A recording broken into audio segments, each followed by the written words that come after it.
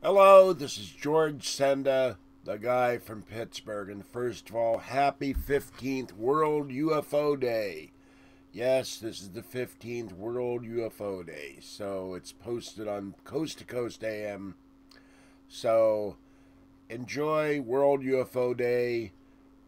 Uh, maybe you'll get lucky to see a UFO. And if you see a gray, take him to lunch. all right the real reason I'm posting this video is last night on Coast to Coast AM, my video appeared, and the link will be in the description. So you can go to Coast to Coast AM, excuse me, and um, look at the video. And the audio was heard on Coast last night, and I got a couple things to say about. Uh, Area 51 drone and the trolls on BellGab who think that I'm being coached by George Noory. I am not. Now, somebody said, I think it was O'Neill, that troll, that they could see the screen reflected in the background of my video. I couldn't. But what was up there was the content that I wrote and I had it on the screen because I kept blowing the lines. And my video in May, my video this month, or actually was done in June, it was published July 1st because uh, of George Noory's trip. Tom and George are very busy. George had a event in St. Louis with Stanton Friedman. I didn't hear from Tom for about a week after I sent him the first video and I had to redo it Excuse me. I'm to take a break after this and have some hot tea or take a hot shower. I don't know which. My I've got a touch of bronchitis too. I'm sorry about the coughing.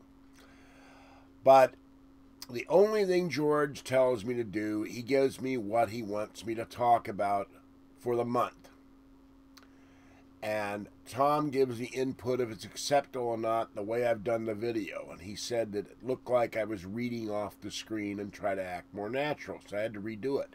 And I had the text on the screen that I wrote, not George Noory, not Tom Danheiser, and not anyone at Premiere or Coast to Coast AM. All of that is my original writing, the same with the one I did in May.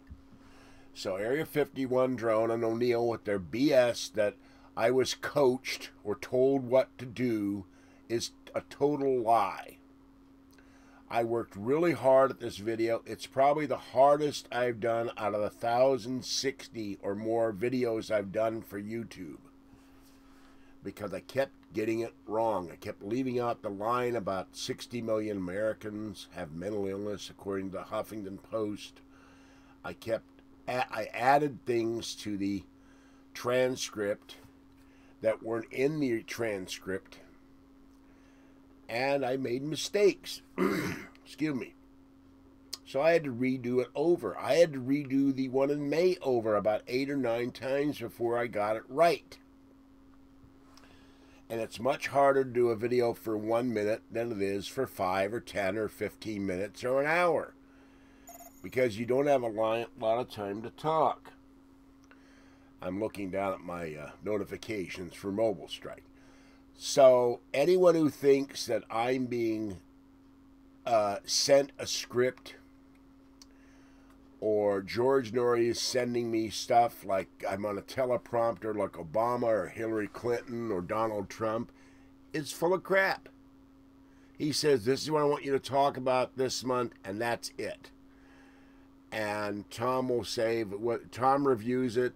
I don't know if George reviews it or not. I assume he does before it goes on the air and before it goes on the web page. And if Tommy said it's great, it's acceptable, they publish it. That's it. I've been a professional writer in the past, but the context of anything I write out on on my screen. Actually, I send myself an email and type it in and then put it on my screen. and I sent Tommy the text of the video. And my friend, six week tenure, hi there, posted on BellGab. I sent him all the emails. I keep every email that I send to George Noory and Tom Danheiser. And it kept the first video that had to be redone and the second video. And that's what you saw if you looked at Coast to Coast last night or if you listened live to Coast to Coast. You heard the audio of my video. So I'm tired of people, Area 51, uh, like Area 51 drone and O'Neill saying that I didn't do this. They're absolutely wrong, and they're trolls. Drone's mad because I won't talk to him anymore, and O'Neill's never said a kind word about me in the millions or hundreds of posts he's left on in the musings thread on BellGab. They're both trolls.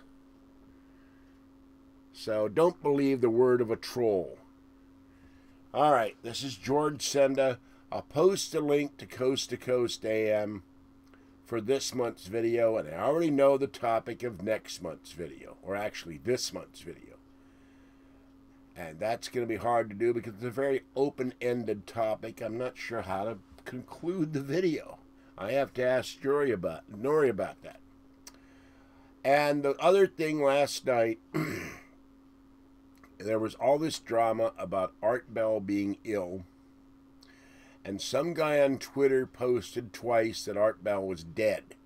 Now, I got an email from George himself when this all came up saying that Art Bell was resting comfortably at his home. He was not dead and he was quite alive. Now, this all came on. I was sent an email by somebody named Chris. I don't know if it's little Chris. I think Chris Crosby.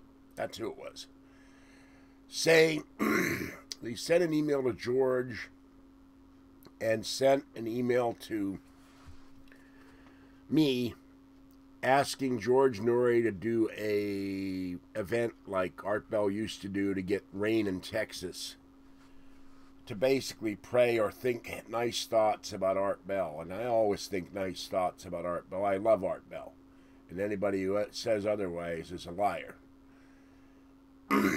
So I started looking on Art Bell's Facebook page, the Dark Matter page.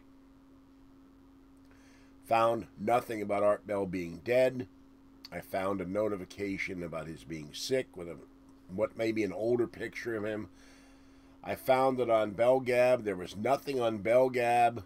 Both I and Six Week Tenure looked about George Noory being, I mean, not George Noory, sorry, about Art Bell being dead. Excuse me. And uh, one guy made a nasty comment that Art Bell had died on BellGab. And also, supposedly, I did not listen to this, but six week tenure told me that Heather dropped off the air 38 minutes before the midnight uh, please pray for Art Bell or whatever. Aldous Burbank was pushing that. Uh, I forget what he called it exactly. And Keith Rowland had to take over, and Heather never went back to the air. So that was the other drama going on. Tom called me and asked if I have any news. I gave him and George all the news while I was on Skype with six week tenure, and we started to investigate it. And this was, I think, a cruel hoax. Excuse me, attacking Art Bell and maybe indirectly trying to stop my video from appearing on Coast to Coast AM or take uh, attention away from it. I don't know. Um, but I don't really care because my video was going to post no matter what a bunch of trolls did. But to say on on Twitter that Art Bell, radio legend, Radio Hall of Fame member, and our favorite talk show host for years long before any of us ever heard of George Noory. Nothing against George. I love George too. But was dead is just a cruel and despicable thing to do. And I wish I knew who that uh, guy on Twitter was who posted that. Because it upset a lot of people. I'm certain of that. All right. That's it. I need to take a break. I can't talk anymore. This is George Senda the guy from Pittsburgh. Go to the link if you want to watch my video. And the video for July will appear in July, barring anything unforeseen, Once I send it to George or Tommy, and I send both of them a copy, it's up to them to decide whether it gets published or I have to redo it. It's out of my hands at that point. I send it to them at Premiere Radio Network at Coast to Coast AM, and then they decide if it goes on the air or not. Okay, have a great day, a great weekend, a great holiday, and be safe out there. Bye bye.